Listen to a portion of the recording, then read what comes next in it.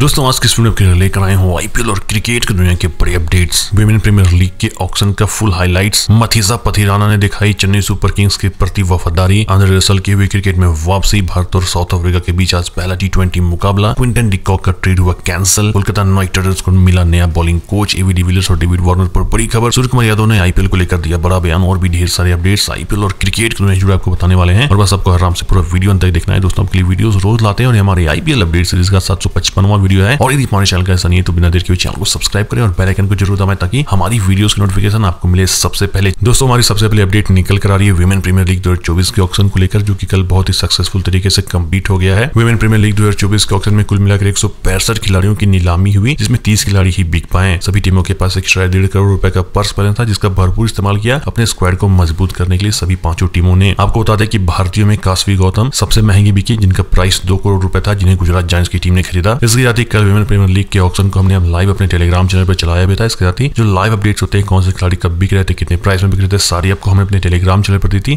और बिल्कुल इसी तरह का कवरेज आपके लिए हम आईपीएल दो के ऑक्शन में मिलाएँगे तो हमारे टेलीग्राम चैनल को ज़रूर से ज़रूर ज्वाइन कर लें, ताकि आईपीएल का एक्शन आप मिस ना कर दें। इसके साथ दोस्तों वुमेन प्रीमियर लीग का ऑक्शन खत्म होने के बाद सभी टीमों का स्क्वाड आपके सामने स्क्रीन पर आप देख सकते हैं। इसके साथ ही आपको यह सारे स्क्वाड सभी पाँचों टीमों का स्क्वाड हमारे टेलीग्राम चैनल पर बढ़िया तरीके से मिल जाएगा। और आप यदि वुमेन प्रीमियर लीग को लेकर एक्साइटेड हैं तो वीडियो को लाइक ज़रूर कीजिएगा। चलिए अपना दूसरा बड़ा अपडेट उसमें अपडेट निकल कर आ रहा है चेन्नई सुपर किंग्स की टीम की तरफ़ से और यह जुड़ा हुआ है मथीसा पथिराना से। आपको बता दें कि 12 दिसंबर 2023 से पहले ट्रेड विंडो खुला हुआ है जहाँ पर उसके पहले ही सभी टीम ट्रेड कर सकते हैं और मुंबई इंडियंस की टीम काफ़ी सारे खिलाड़ियों को डायरेक्टली अप्रोच कर रहे हैं। इसके पहले हमने देखा था कि मोहम्मद समी को भी उन्होंने अप्रोच किया था। इसको लेकर गुजरात टाइटल्स की टीम ने कंप्लेन भी किया था। तो वहीं पर अब चेन्नई सुपर किंग्स की मथीसा पथिराना को भी मुंबई इंडियंस की टीम ने अप्रोच किया था। उनकी टीम में शामिल होने के लिए ट्रेड के ज़रिए। लेकिन मथीसा पथिराना ने उनके इस प्रपोजल को ठुकरा दिया है और सबसे बड़ी बात है कि उन्होंने चेन्नई सुपर किंग्स को लेकर एक स्टोरी भी पोस्ट किया है जहाँ पर उन्होंने लिखा है कि उन्हें वफादारी ज़्यादा प्यारा है और उन्होंने लिखा है कि no money can buy loyalty यानी कि वफादारी पैसों से नहीं खरीदी जा सकती है। और कल यह सोशल मीडिया पर काफ़ी ज़्यादा ट्रेंड भी कर रहा था और आप स्क्रीन पर देख सकते हैं किस तरीके से मथीसा पथिराना ने इस पोस्ट को डाला है। हालाँकि यह कंफर्म नहीं है कि मुंबई इंडियंस की टीम ने उन्हें अप्रोच किया था, जो भी टीम अप्रोच किए होंगे, लेकिन मथीसा पथिराना ने इस तरह का पोस्ट डाला। चलिए देखते हैं अपना तीसरा बड़ा अपडेट दोस्तों अपडेट निकल कर आ रहा है लखनऊ सुपर जायंट्स की तरफ़ से, जहाँ पर आपको बता दें, काफ़ी दिनों से यह खबर आ रही थी। काफ़ी जगह से रूमर्स आ रही थी कि लखनऊ सुपर जायंट्स की टीम क्विंटन डिकॉक को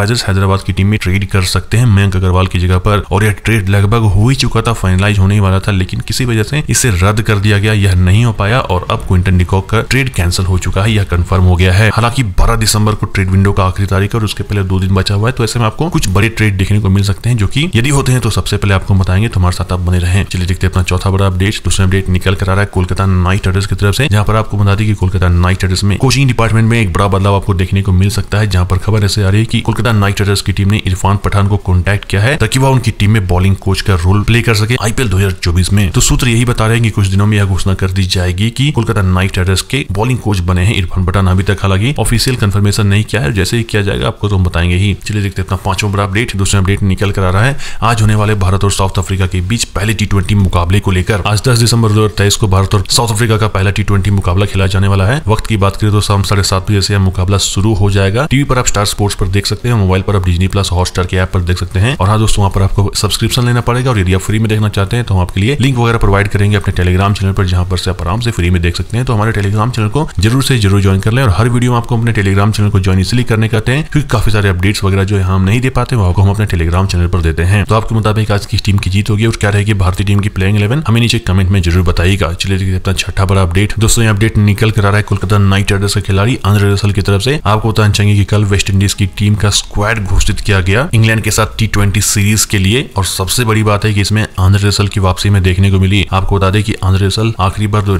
में वेस्ट इंडीज की तरफ़ से खेले थे और उसके बाद वह वेस्ट इंडीज की टीम में नहीं शामिल किए जा रहे और उन्हें मौका नहीं मिल पा रहा था। लेकिन अब उनकी वापसी हो चुकी है। आपको बता दें कि हाल ही में जो टी ट्वेंटी लीग हुआ था अबू धाबी में, उसमें आंध्र रसल ने बहुत ही शानदार प्रदर्शन किया था। और जिस तरह का कंडीशन अभी चल रहा है वेस्ट इंडीज का, ऊपर से टी ट्वेंटी वर्ल्ड कप भी आने वाला है तो ऐसे में वेस्ट इंडीज के लिए बढ़िया यही रहेगा कि आंध्र रसल जैसे खिलाड़ी उनकी टीम में रहे, तभी जाकर कुछ अच्छा निकल कर आ सकता है वेस्ट इंडीज की टीम के लिए। और यहाँ पर आप स्क्रीन पर देख सकते हैं वेस्ट इंडीज का जो स्क्वाड रहने वाला है, कौन कप्तान रहने वाला है, कौन वाइस कप्तान रहने वाले सब कुछ। और यह जो सीरीज़ है, वह बारह दिसंबर से शुरू होने वाला है और यह वेस्ट इंडीज में खेला जाएगा। चलिए देखते अपना सातवां बड़ा अपडेट दोस्तों अपडेट निकल कर आ रहा है एवी डिविलियर्स और डेविड वार्नर की तरफ़ से, जहाँ पर सबसे पहले आपको बता दें कि एवी डिविलियर्स ने अपने आईपीएल 2021 को खेलने को लेकर एक बड़ा स्टेटमेंट दिया और उन्होंने बताया है कि वह आईपीएल 2021 में जब खेल रहे थे तो उनका एक आँख डैमेज था। उन्होंने यह बताया कि जब वह घर में थे तो उनके बच्चों के खेलने के दौरान उनके बेटे ने उनके आँख में हीट कर दिया था, जिसकी वजह से उनके रेटिना डिस्प्लेस हो गया था और वह उसी तरह के कंडीशन में आईपीएल खेले थे और उसके बाद उन्हें पता था कि उनका मेडिकल कंडीशन वगैरह सही नहीं रहेगा क्योंकि एक अक्सर खेलना बहुत ही डिफ़िकल्ट होता है और इसीलिए उसके बाद उन्होंने आईपीएल नहीं खेलने का फैसला किया है। इसके बाद हम बात करते हैं डेविड वार्नर की खबर की। तो डेविड वार्नर की तरफ़ से खबर आ रही पाकिस्तान सुपर लीग में उन्होंने नहीं खेलने का फैसला किया है। खुद उन्होंने पाकिस्तान सुपर लीग में रजिस्टर नहीं किया है क्योंकि वहाँ पर पैसे भी कम मिलते हैं, ऊपर से सिक्योरिटी वगैरह भी सही नहीं रहता है। चलिए देखते हैं, आठवां बड़ा अपडेट दूसरा अपडेट निकल कर आ रहा है। सूर्य कुमार यादव की तरफ़ से आपको बताना चाहेंगे कि भारत का टी वर्ल्ड कप से पहले मात्र छह टी ट्वेंटी मुकाबले खेले जाने वाले हैं। यानी कि टी ट्वेंटी वर्ल्ड कप से पहले तैयारी के लिए मात्र भारतीय टीम के पास छह टी ट्वेंटी मुकाबले हैं। एक जो भारत और साउथ अफ्रीका के बीच टी ट्वेंटी सीरीज़ होने वाला है, जो ये अभी होने वाला है, आज से शुरू हो जाएगा। और एक अफ़गानिस्तान के साथ जनवरी के महीने में आपको देखने को मिलेगा। तो इसको लेकर सूर्य कुमार यादव को रिपोर्टर्स ने पूछा था कि क्या यह एक कंसर्निंग मैटर नहीं है? क्या इससे कोई दिक्कत नहीं होगा टी ट्वेंटी वर्ल्ड कप के तैयारी में? तो ऐसे में सूर्य कुमार यादव ने बोला कि भले ही उनकी टीम टी के सीरीज़ कम खेलने वाले हैं, लेकिन टी ट्वेंटी वर्ल्ड कप से पहले हमें आईपीएल देखने को मिलने वाला है। और जिस तरह का तैयारी आईपीएल में होता है, वह कोई भी टी सीरीज़ वगैरह नहीं दे पाता है। तो उनके मुताबिक आईपीएल में खेलना टी वर्ल्ड कप का एक तरह से तैयारी भी है। तो आईपीएल के लिए वीडियो को लाइक ज़रूर कीजिएगा। तो दोस्तों ये हमारे आज के आईपीएल और क्रिकेट पर कुछ बड़ी खबरें। इस तरह के अपडेट्स और वीडियो आपके लिए हर मिलाते हैं। तुम्हारे साथ बने रहे। चैनल को सब्सक्राइब करें। मिलते हैं अपने इंटरेस्टिंग वीडियो में। तब तक के लिए धन्यवाद।